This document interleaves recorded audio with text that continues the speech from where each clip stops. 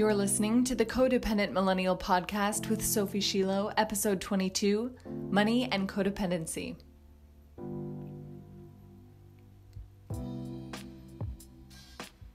Before we begin our episode today, I want to share with you an incredible message that I received from an amazing client of mine. Olin sent me this message earlier this week, and I cannot not share it with you. Here's what Olin had to say about our work together. Sophie, I want you to know that I instinctively looked into one of my favorite mirrors and began talking to myself today. I saw radiating joy and creativity and raw power. Working with you for only a month has me feeling so much stronger and actually confident in my abilities to take care of myself and create the life I want. Coaching and helping others is so obviously what you are meant to be doing in this life right now, hands down. You change lives by acting as a mirror that shows people their full potential. Our work has been no exception for this. I continue to grow each day. Thank you so much, Olin. You really are doing incredible work. Um, I just appreciate this message so much. Thank you. I also want to let all of you know who are listening that I'm hosting a free codependency cure challenge on Instagram beginning on July 27th, and you can sign up for it at the link in the show notes. You can also visit my Instagram profile and find the sign up link in my bio there. The challenge will be five powerful days of action that will help you move beyond the codependent behaviors that we all struggle with the most people pleasing, boundary issues, confidence, decision making, and so, so, so much more. There will also be an epic giveaway with free one on one coaching with me, a gorgeous journal, crystals from my absolute favorite crystal shop, and so much more. You guys, this challenge is going to be amazing. I want you to sign up now. Go to the link in the show notes or my Instagram bio and join me. Okay, so let's dive in. Today's episode is a compilation of trainings that I did on Instagram all about money. There are four trainings in total that you're about to hear, and the last one is a question and answer session that addresses some fantastic questions that you all submitted for me to answer on Instagram. You're gonna come away from this episode feeling so much more in control of your financial situation and really knowing and being able to step into your true power around money. Enjoy! Today we're talking about the intersections of these two things. In what ways are money and codependency related? So I'm here to talk about this. We're going to talk about two ways that money and codependency are related in this video. When we are codependent, we often don't believe that what is ours is actually ours, and we have a really hard time accepting that what is someone else's is someone else's. So here's what I mean by this. A lot of times when we are codependent, we don't feel as if we have a right to say no. We don't feel as if we have a right to deny someone else's request when they ask for access to our time, our body, our money, our energy, our expertise, our physical property, our possessions, um, time with us. All of these things are within our sphere of ownership especially our body and our time and our energy um, and our thoughts and our minds. But a lot of times, when we have been in codependent patterns in various relationships, it is really hard to stand firm in that knowing that those things are ours and that we don't owe them to anyone else ever for any reason. Not parents, not siblings, not teachers, not partners, not mentors, not mentees, not students, none of it. Those things belong to you. And this is extremely difficult as codependents to say no, to put up boundaries around either your physical property, your physical person, around your time, around your energy, around your money, all of this. It's very challenging. So I want you to know that one intersection of money and codependency is not feeling like you have the right to your own money, not feeling like you have the right to say no if someone asks you to use your money. This can come up in so many different scenarios. I'm sure you might be thinking of a scenario right now where you don't feel entitled to what is yours. either you know physically or financially.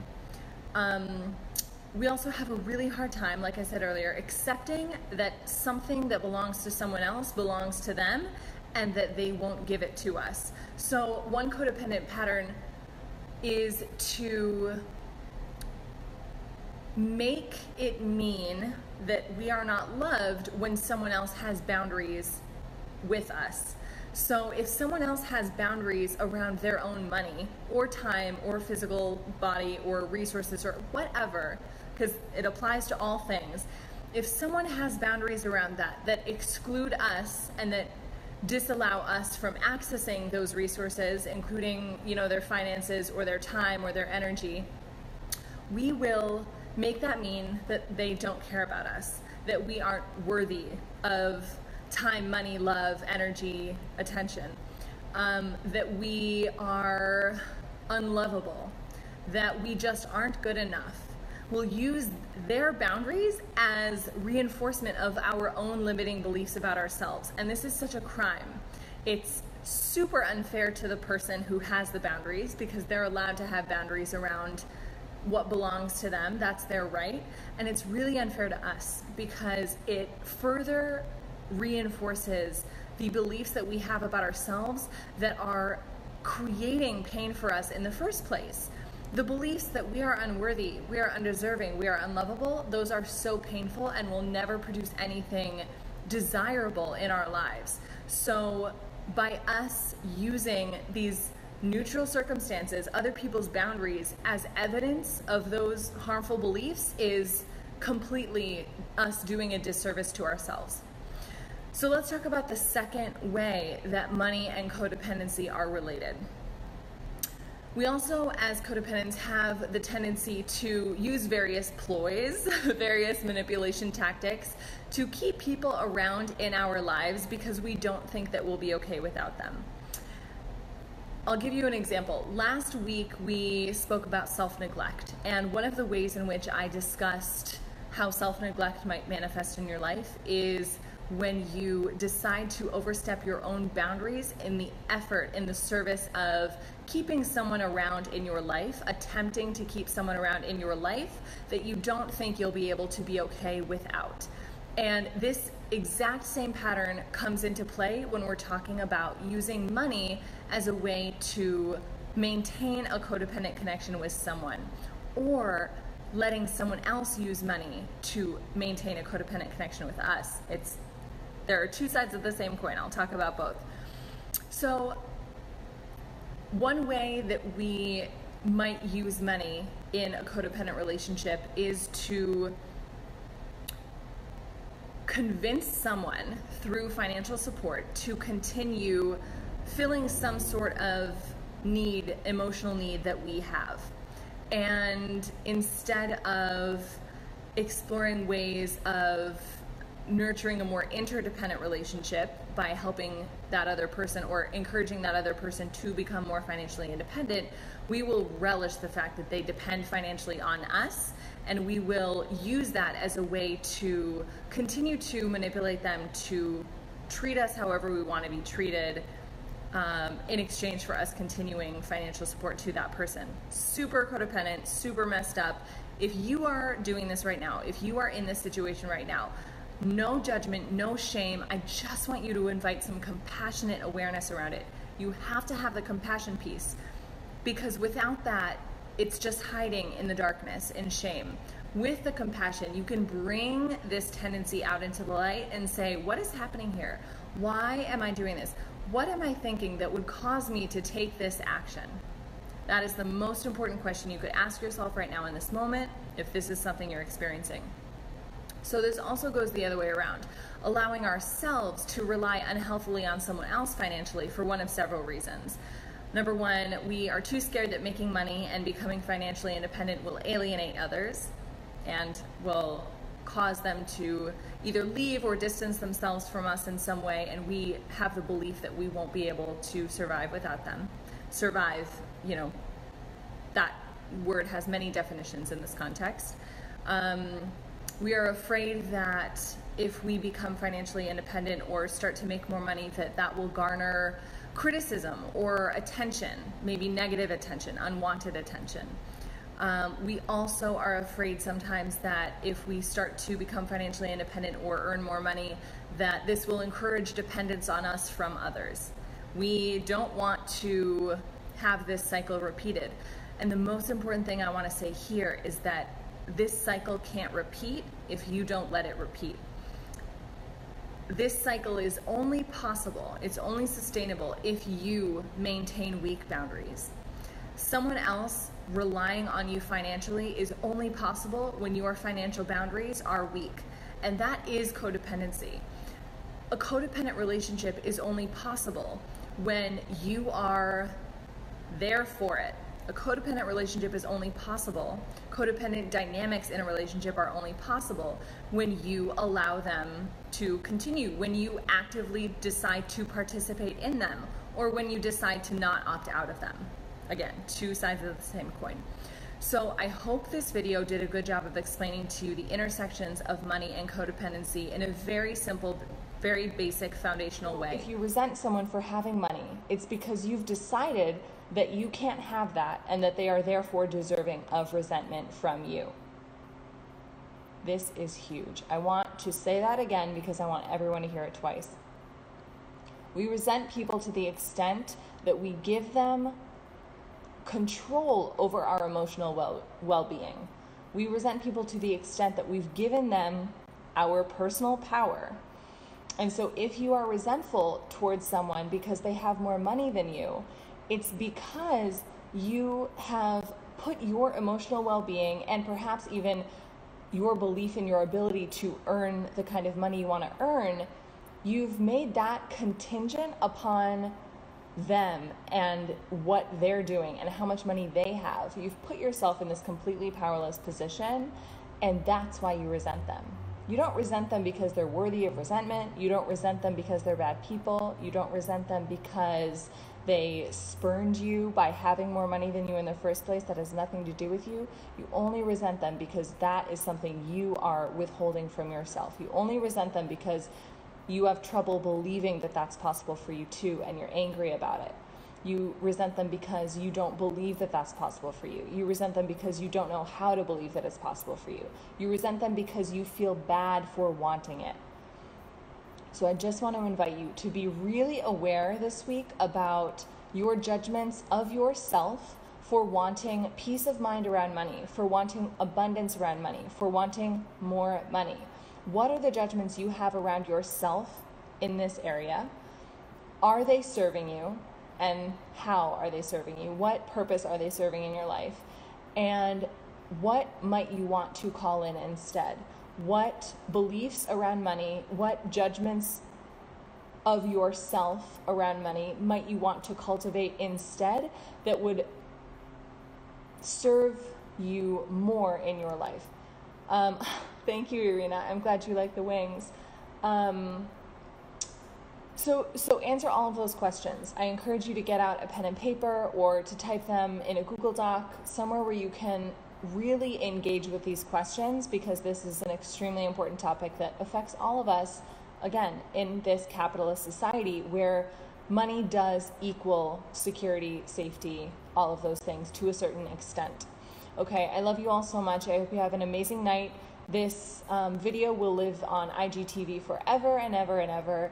And I will be back tomorrow with our third lesson on money and codependency. If you're watching this and you have questions about money and codependency, how those two intertwine, um, your own issues with money, just DM me and I will answer all of those questions during our Q&A session on Friday. If you're watching this after Friday, July the 10th, um, DM me anyways and we can talk. I cannot wait to connect and I will talk to you soon. Have a wonderful night. Bye. Hello, my loves. Welcome to day three of my series on money and codependency. Today, we're talking all about how your aversion to people thinking that you're bad is preventing you from making money, from having money, from experiencing the kind of abundance that you want to experience. Your aversion to anyone thinking negative thoughts about you, which is a codependent behavior, is preventing you from making, having, enjoying more money. In your business, if you own a business, um, your aversion to people thinking negative thoughts about you is producing a, an action of hiding. It means that you are not fully showing up in your business the way you need to in order to make the kind of money you want to make. In your job, your aversion to people thinking negative thoughts about you is not actually contributing to you doing a better job at work. It's preventing you from taking initiative, which is how you make more money in a salaried position, which is how you make more money when you don't quote unquote control your paycheck. And I want to really emphasize this because as codependents, hiding has been a survival tactic that we've used for a long time. And it helped us at one point when we were very young. Hiding was how we got by in, in many instances. And just like any maladaptive coping mechanism at this point in our lives, hiding is no longer beneficial, it is detrimental to us. You cannot make more money by hiding. You will not make money if you do not take initiative. So, those two behaviors that stem from the aversion to people potentially thinking negative thoughts about you are behaviors that will prevent you from enjoying the kind of wealth you want to enjoy. I will read a few sentences. There is there's one thing I wanted to come back to that I'll remember in a minute. You can't make money by wishing you didn't want money or by judging yourself for wanting it. You won't make money with the belief that who you are and what you bring to the world is not valuable or important or worthy. You won't make money if you are unwilling to put yourself in situations where you are guaranteed to face rejection because you know that you'll be cruel to yourself on the other side. Do you understand that? Do you understand that your treatment of yourself after you experience judgment or rejection from others determines your orientation towards situations where you stand to be judged by others. Situations where you stand to be judged by others include every single situation that you will ever experience here on earth, period. What I wanted to say earlier, I just remembered it and I'll come back to it now I wanted to say that as codependents, it was, it, it always has been sort of a safe haven in our minds to delude ourselves into thinking or believing that we have any control over anyone's emotions, that we have any control over anyone's perception of us, over anyone's opinion of us. And the truth is that we never do. We never have, we never will ever, we never ever do. And so the aversion to the aversion that we have to really allowing other people to have their own thoughts and emotions about us, about the world, about themselves is holding us back in every area, not just financially. It will hold you back in relationships as well because you will constantly be trying to manipulate someone else's thoughts and feelings because you don't feel comfortable letting them letting them have their own thoughts and feelings, which they will anyways. That's the thing. We think we can control them. We think, well, if I tinker here and tinker there, then they'll think positively about me, then they'll think negatively or about someone else, you know, then I'll be able to control it. It's never true. So I want you to get out a piece of paper and a writing utensil that you love because I have a really incredible exercise that will be extremely lucrative for you if you engage with it thoroughly. So prepare your piece of paper, get your little writing utensil, have a glass of water. Let's get started. The first question is What are the top 10 thoughts you have about yourself? list out the top 10 thoughts that you have about yourself on the paper. Don't try to give them a positive spin. Don't try to give them a negative spin. What are the top 10 thoughts you have about yourself? The 10 most common thoughts you think about yourself.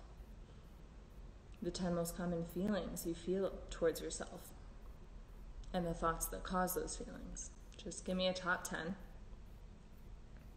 And you can press pause on this video if you'd like. The second question is well, first I'll say the reason why I ask that, the reason why that question is important in a financial context is because I promise you, I guarantee you that those thoughts about yourself are manifesting in your financial reality. The thoughts that you have about yourself, the, the dominant thoughts and feelings that you have towards yourself, are creating your financial experience in this moment. And you can change your financial reality by deciding to think thoughts about yourself that are different, that are more empowering, that are more value creating. And you can change your financial status, you know, to the negative if you are unconscious about your thoughts and you get swept under to believe really degrading, really devaluing, really dismissive thoughts about yourself. So the next question is what does your financial life look like? Get specific. Don't don't fall into really interpretive language here. Just get really basic. Like exactly how much money is in your checking account, exactly how much money is in your savings account. Do you have investments of any kind? Do you have an IRA? Do you have a 401k? Um, do you have any CDs? Like, just get your financial picture down on paper and get really crystal clear about it. Try to attach as little judgment as possible. I know that's hard, but if we can just stick to the facts, the very like factual mathematical numbers, that will help. So, what does your financial life look like? And then the third question is what thoughts do you think are contributing to this? What thoughts are you thinking that are creating this financial picture? What thoughts are you thinking about yourself, about money, about the world, about your job, about your business, about time, about energy, about exhaustion, about fear, about judgment? What thoughts are you thinking that are creating this current financial reality that you have?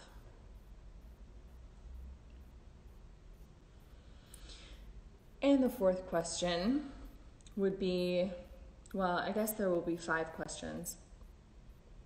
The fourth question is what do you want your financial reality to be? What do you want it to look like? And again, get really specific here. You can fold feelings into this question. I do invite you to bring some emotion, some passion to this question because answering this question is really exciting if you think about what is truly possible for you. So, get specific about exactly how much money you want in your checking, exactly how much money you'd like in your savings, exactly how much money you'd like in your emergency account, separate account, exactly how much money you'd like in a retirement account, exactly how much money you'd like in a vacation account. Just get really, really crystal clear about all of those things and think about how that might feel. Just get excited about it. And then question number five is what thoughts would be necessary for you to think in order to create that financial reality? What thoughts would you have to start thinking in order to show up in a way in the world that would be conducive to you achieving and realizing that financial picture? In addition, bonus question, a little sidebar to this, which is just as important, by the way, maybe even more so.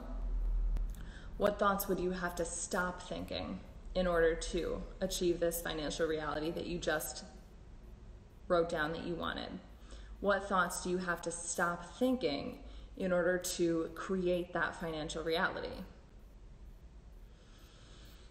Hmm. I would suggest any thoughts that are degrading, any thoughts that are hopeless, any thoughts that feel low, that feel like hiding, any thoughts that feel like shame, those are the thoughts you want to question and that you want to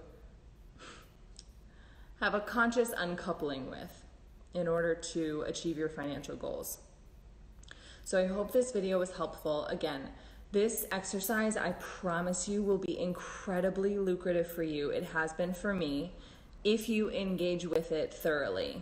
If you really take time to answer these questions, not only to answer these questions, but also to actually do the very intricate work of changing your thoughts so that your experience in life can change because that's how it happens, my friends. I love all of you so much. Um, I will be going live tomorrow afternoon for our Q&A on money and codependency. So if you're watching this and you haven't yet submitted a question for me to answer all about money and codependency or just money in general, submit now. Send me a DM with your question about money and codependency so that I can answer it on tomorrow's Q&A. Um, I will mention if this work is work that you know you need to do, if you have codependent tendencies that you know are preventing you from living the life you want, again, send me a DM. Let's talk. My program might be a perfect fit for you, might be exactly what you need to move beyond these codependent tendencies that are preventing you from getting everything that you've been saying you want for so long. Um, I will talk to you tomorrow. I cannot wait, and I hope you have a beautiful evening. Goodbye. Welcome to this week's question and answer session all about money and codependency. Today, we're going to be discussing four different topics. I received a bunch of questions from you guys that were amazing, but so many of them were um, so similar that I decided to sort of take pieces of a lot of them and combine them into four categories. Because, no surprise here, a lot of you had very similar questions about the intersections of money and codependency and how to let go of our codependent ten- tendencies around money and build healthier, more robust relationships with money. Hey, Allison, happy Friday. I miss you. So, let's get started. Question number one I used to pay for my ex's life. I was so codependent. I would always pick men that need fixing. They would have mommy and daddy issues, both. Uh, they would need to be taken care of, etc. Um, or I would need to, yeah, so that I would be the savior and fix them. Um, I would buy them food. I would show up ready to take care of them, and then it just builds from there. I know I get it from my parents. They were super generous, but to a ridiculous level. So I know it was learned. I'm taking a step back now, not dating, and looking at my patterns, trying to come to terms with my codependent behavior. Okay, incredible question. Thank you so much for submitting. Um, I read this one pretty much verbatim, but a lot of other people submitted something similar. They are drawn to the same type of relationships, drawn to men with the same kind of quote unquote issues or just the same elements keep showing up in their relationships time and time again. So let's discuss this. Um, I want to ask you if you could relate to this. How is it serving you to do this? How is it serving you to behave this way in relationships? How is it serving you to over caretake, to overcompensate? What do you allow yourself to think and feel about yourself when you take care of someone in this way? That's really, really important. I'm going to ask this in a different way.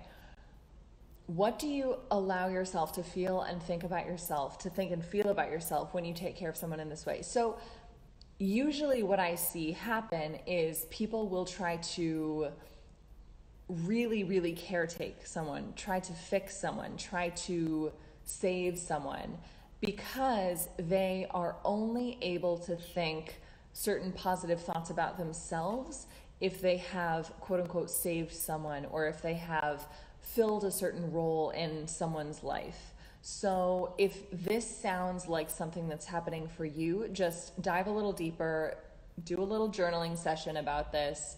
What is going on there?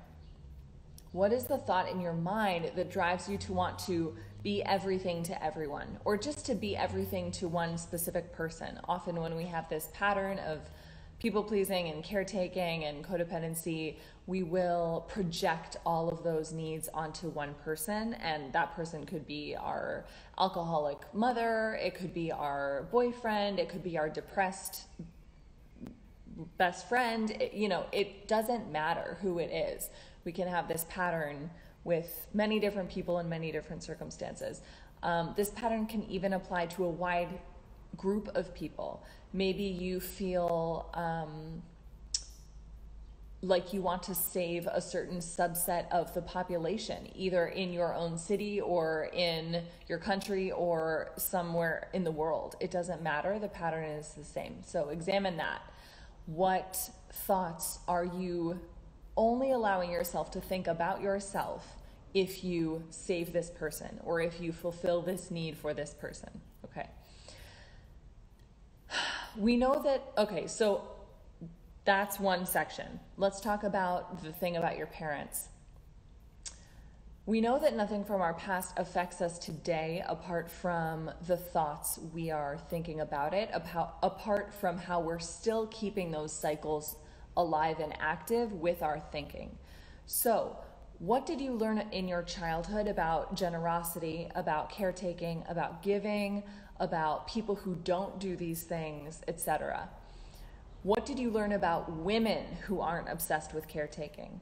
That's a really important question that I want you to ask. If you were raised and socialized as a woman in Western society or really anywhere in the world, um, it's likely that you internalized lots of thoughts and beliefs and feelings about yourself in relation to others in the context of caretaking as women, um, as people who are socialized as women, as people who are raised as women, we do place a lot of our self worth on whether or not we are caretaking, on our abilities to caretake, on whether or not we are successful at fixing or saving or helping. Um, Raven, you are my fucking life. I love you so much. Hello. I'm talking about something very interesting right now. Um, okay. So that is my suggestion suggestion to you, wonderful writer, um, and to anyone else who has who who notices similar caretaking behaviors in their romantic relationships. Go listen back to this, do those journaling questions, dive in there, and as always, DM me if you have any questions about it. Happy to chat with you. So, uh, next question, and again, this was a conglomerate. I had several different people reach out to me with this same sentiment. Um, they're all business owners. So if you are a business owner, listen up. She said, I have a fear of sharing my prices because I want to people please so badly. I just want to people please and make potential clients want to work with me. Okay, good. So pretty much what people were writing to me about was either their prices of their products, of physical products, or their services. Um, I had three different coaches reach out to me and ask about this. They just don't really feel comfortable talking about price with clients, with potential clients, with people who inquire about prices, whatever. So I want to ask you what are the thoughts you're thinking about yourself that make you feel squeamish about your prices? What are the thoughts you're thinking about the work that you do or the product that you sell that make you feel uncomfortable, that make you doubt the value of it, that make you think that other people will be unhappy when they learn what the price is? That is going to be the most valuable question you can ask yourself. Then, once you have the answer to that, you can say, okay, what do I think about this thought? Do I like this thought? Have I really ever looked at this thought? Have I looked at this thought in the face? Do I know? Have I observed the effects that this thought are having in my life? A lot of times when we are able to look at the effect that a thought has in our life, we don't even it's so repellent to us it's so like disgusting we like don't ever want to think that thought again so we don't but you can't get there unless you look at the thought. So, what are you thinking about yourself that is making you so squeamish about your prices? What are your thoughts about money that are making you squeamish about your prices? If you have a, and this is like such a buzzword, so I don't even really want to use it, but um, I'm going to because it's in the common vernacular. Um, if you have a lack based mentality that says that money is finite, that money is limited, that money is scarce, you will absolutely have trouble talking about your prices, no matter how high or low they might be, because you'll feel as if you, by selling your products or services, are taking money away from someone, or you'll feel as if um, you'll doubt why someone would ever want to spend their money on your product or service when they could do so many other things with it.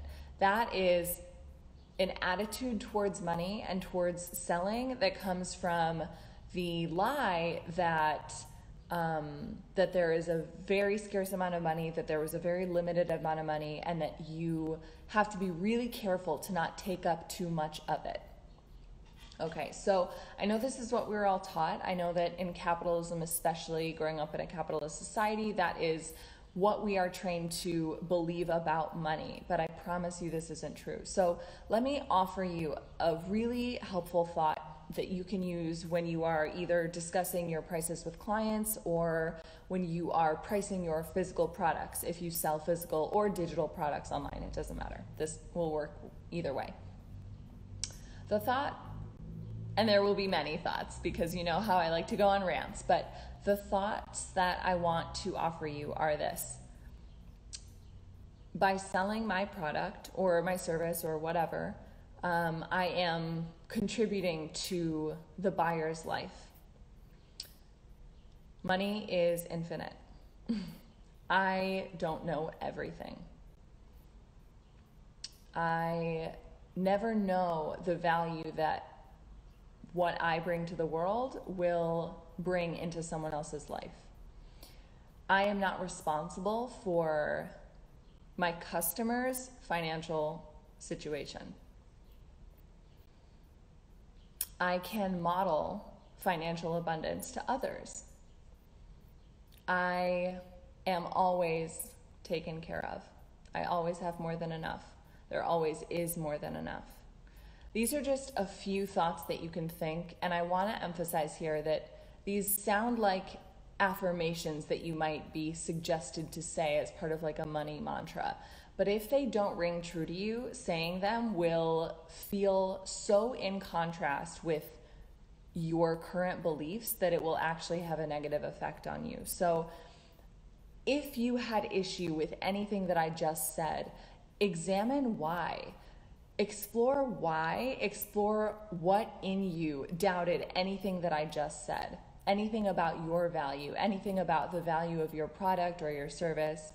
Um, because those were all abundant thoughts that I just listed, and it would behoove you to examine the thoughts that you have that are in contrast with those abundant thoughts. We all have thoughts in contrast to abundance. That's why none of us are like whatever, like enlightened. Um, but if you don't like the way that your life looks ne- like now, it is in your best interest to look at what thoughts you have that are in direct contrast with abundant thoughts. Okay, again, if you need help with this, if this doesn't make any sense to you, just send me a DM. We can talk about it there. Let me know. Next question, the next theme was about.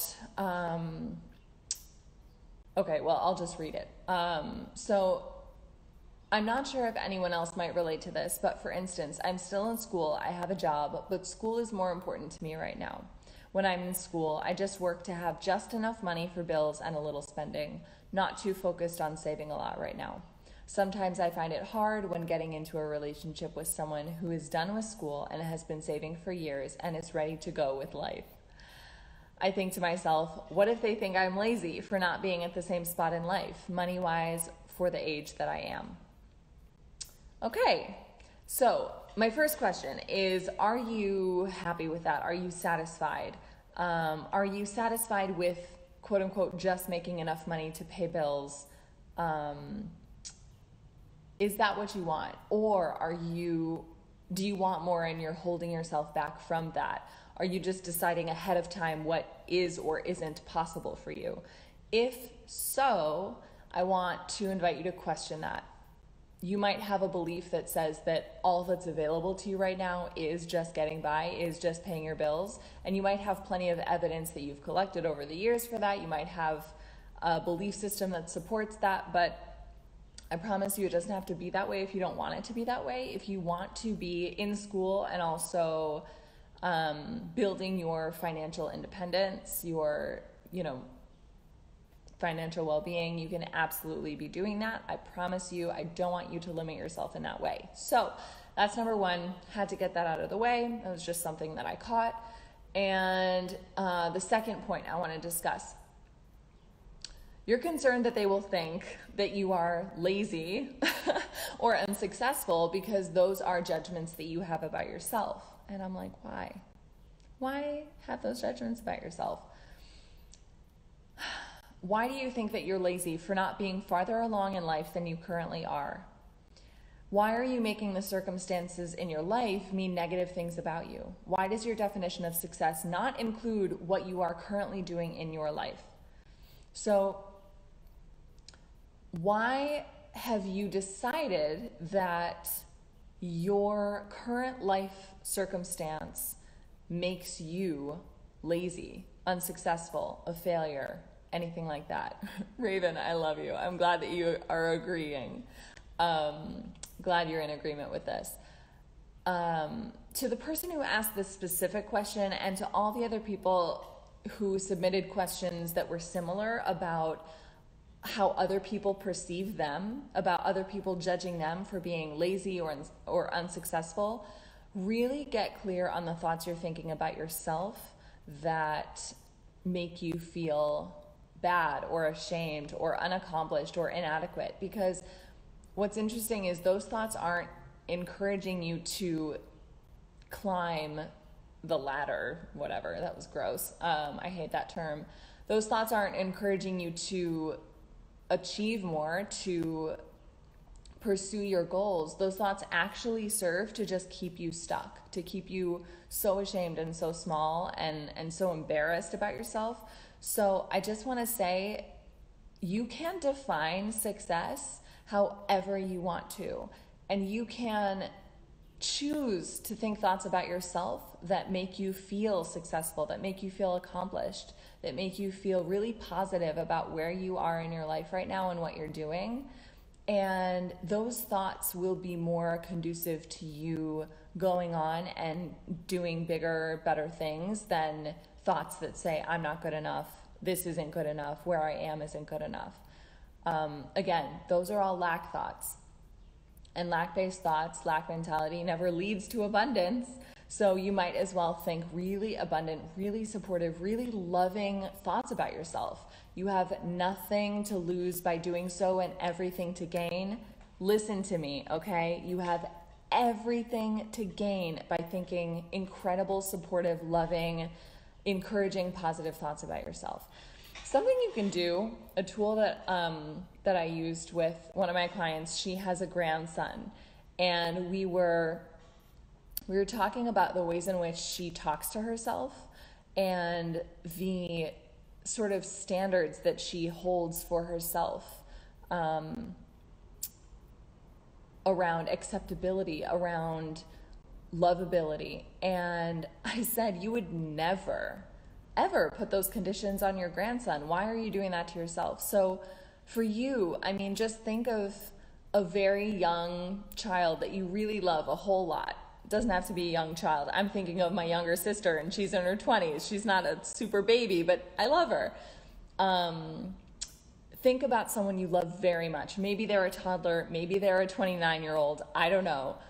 And think, think about the thoughts you're currently thinking about yourself. I'm lazy, I'm unaccomplished, I should be farther along in life. Would you ever, would those thoughts ever enter your mind? About that person?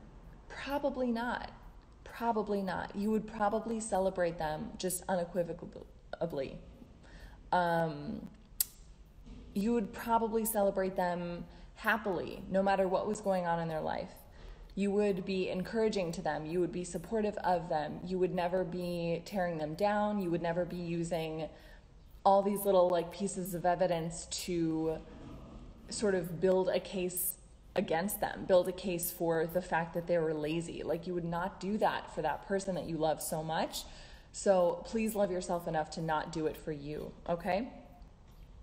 And the last thing I want to say in this live is Raven, I love you. Raven said, ha ha ha, I'm screaming yes to all of this. Oh, Raven, I just want to scream with you all the time. I miss you. So, okay, good. Love you. Bye, baby. Um, okay, this next one is something that I have discussed with several people over the last couple of weeks. Um, like I said, a lot of you guys who wrote in about money and codependency are business owners, and I hear this from you guys all the time. Um, two people that express these same sentiments are in salaried positions. They're not entrepreneurs. Um, but by the way, even if you're not an entrepreneur, you can still have an entrepreneurial mindset in your job, which is incredible. We can talk about that later. Uh, if you have questions about that, just DM me. So, the basic sentiment is I don't know anything about business. I don't know how to make money. I don't know anything. And people literally will say this outright. Like they'll just state those things as facts.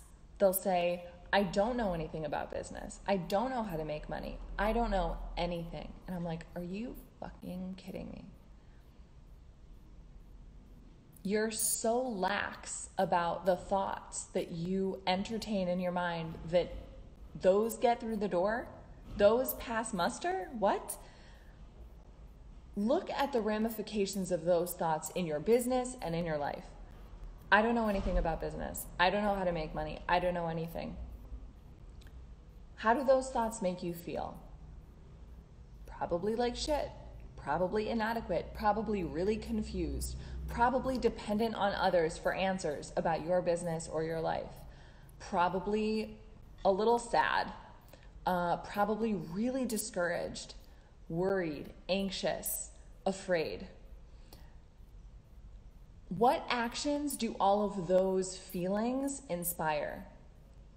What actions are driven by the emotions of fear, anxiety, indecision, confusion, inadequacy, sadness?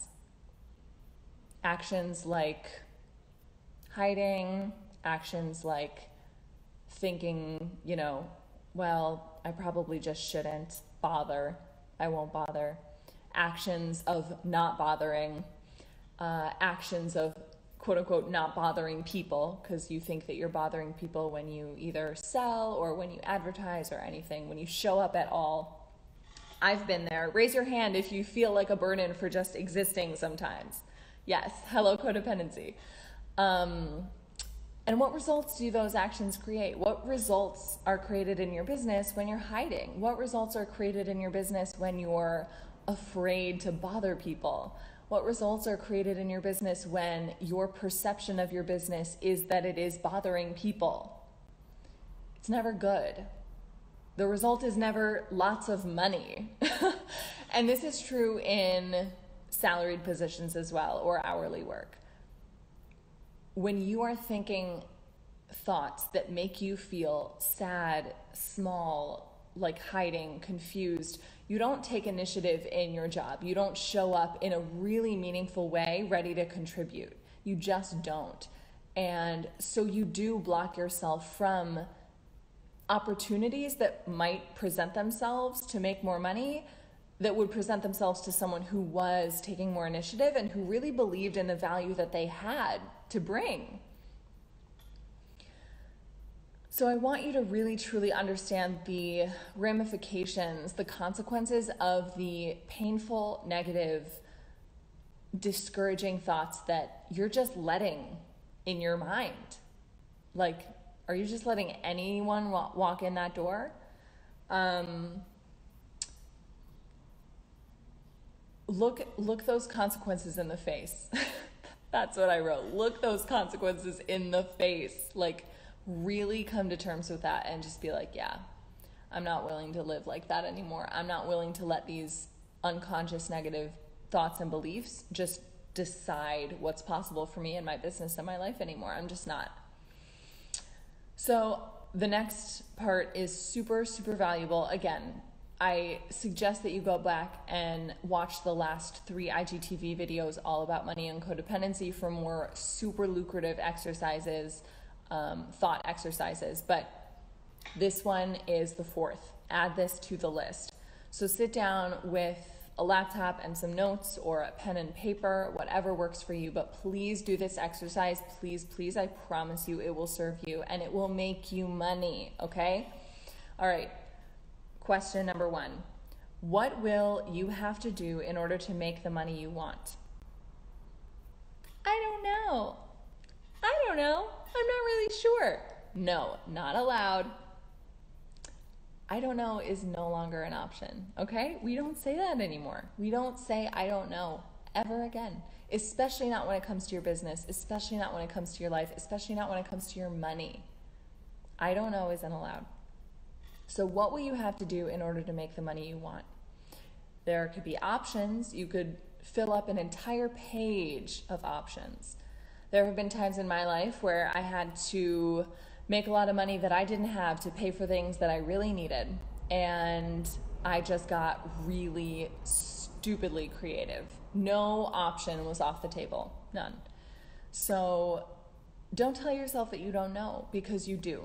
And you block your own knowing when you tell yourself the lie that you don't know. So stop believing that lie, just stop it. It's not doing anything for you imagine what might be possible for you if you stopped telling yourself that lie. I'll give you a hint.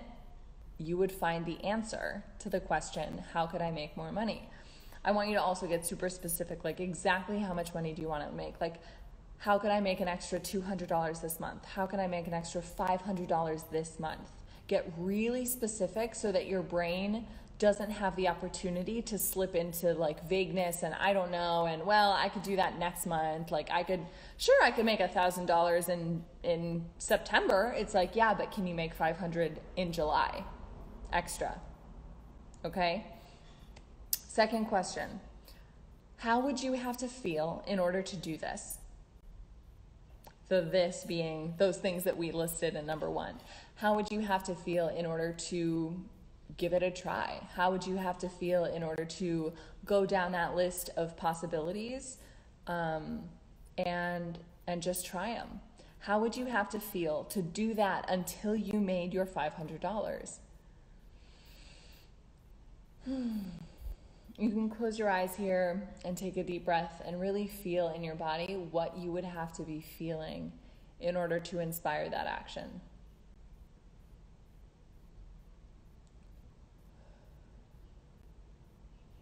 In order to inspire it in the first place, in order to maintain it, in order to sustain that action until your goal was reached.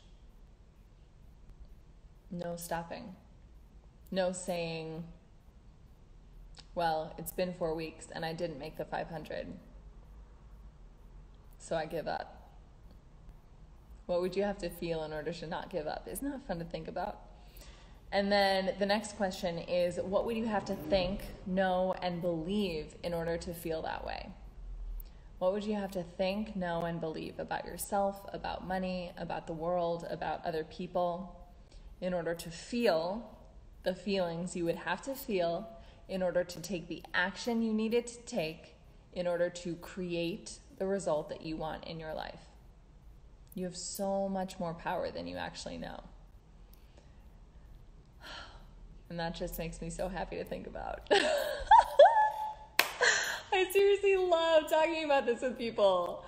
When they're like, when like they open their eyes and they're like, wow, I really do have so much more power than I ever realized before. So, your homework today, my sweet loves, is to find your money thoughts.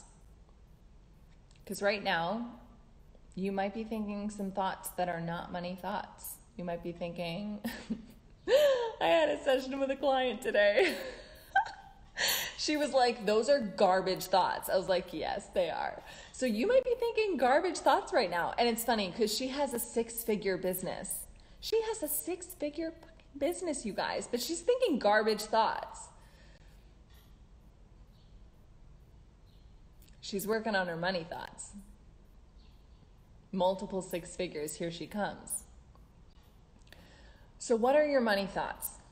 What are the thoughts you need to think that will produce the feeling that you need in order to take the action that you need to take in order to create, produce the result that you want in your life? Yes, this applies to money, but it also applies to everything else. Okay? I love you so much. If you have any questions about anything in this live, you can just send me a DM and we can discuss it further. If this is work that you know you need to be doing, again, send me a DM. We can talk about what one on work, one on one work looks like. Um, this is what we do. I just rip out all the thoughts in your brain that are producing negative results in your life. We look at them hard, we rebuild new ones, and we help you create the life that you want to be living. It's really hard to do that when you're thinking thoughts that are directly in the way of that that you don't even recognize because they've been thoughts you might be thinking for your whole life. Um, it's hard to identify problematic thoughts when you just think they're facts. I think this was my favorite live that I've ever done. This was a blast. I also want to let you know this is very exciting. This is the first time I'm announcing it here. I will be running a free challenge here on Instagram in a week and a half, uh, a little less, in like nine days. Um, and I want you to participate. It is going to be an incredible free challenge where we will cure codependency. Five days of intense codependency cure work. I cannot wait to see you there. If you have questions about it, again, send me a DM, but I'll be disseminating all the information about this in the next couple of days. So stay tuned this weekend for all of those details. Um, and until then, I hope you have an amazing Friday evening. Thank you guys so much for watching, and I'll talk to you soon. Bye. And that's a wrap. Thank you again so much for tuning in. I so hope this episode served you. Go back and listen to it again, especially if you didn't have a pen and paper with you the first time around. The exercises and the reflective questions that I posed to you in this episode will completely shift your relationship around money in the best way. If you're ready to take this work even deeper and apply it in your own life in a permanent and meaningful way, join my free five day codependency cure challenge today. You will be a changed woman at the end of our five days together, I promise you. Visit the link in my bio to sign up and start winning points for the giveaway right now. I'll see you inside. If you liked what you heard in this episode, Join me over on Instagram at Codependent Millennial for more tips on how to move beyond codependency and build a life that you truly love.